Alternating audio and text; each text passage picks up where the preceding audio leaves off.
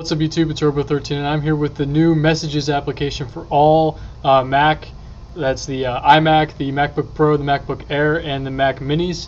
Uh, you know, all the Mac computers now have this new application called Messages. It's the exact same thing as iMessage for the iPhone, the iPod Touch, or the iPad.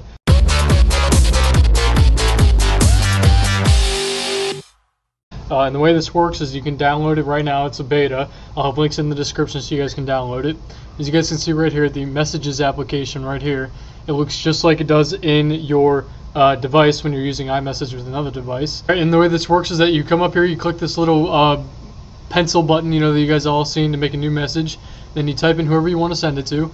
Mine is roboimessage at AOL.com. That is my personal iMessage. If you guys want to send me questions through that, go right ahead. I'll answer it right through here and then you just come down here and type in anything you want. So I'm going to type in hello YouTube and send it.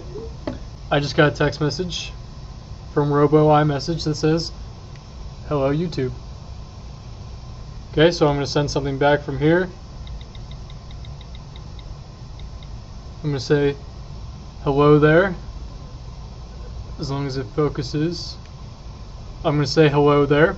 Alright, hit send as that sends and now you guys can see right there it shows up hello there. And this is because it's showing up double because I'm sending it to myself but either way you guys get the point. So now you can talk to people who have the iPhone the iPod touch uh, the iPad or now Macs all through iMessage because it's all linked together. This is all coming out in the new uh, Mac OS 10.8 uh, this is just a beta demo right now. If you do have a developer account you can download the whole thing get all the different features. It looks really cool, the new stuff that they're putting in with it. They're like integrating with iOS. Uh, it's going to be really cool when it comes out in the summer. And so I hope you guys like this video. It's really quick, it's really simple. It's just about iMessages on the new Mac computers with OS uh, 10.8. So I hope you guys like this video. If you do, please hit the like button down below. It helps me out a ton. And it takes you guys a second. If you haven't already, hit the subscribe button right up there. You guys all know what that does.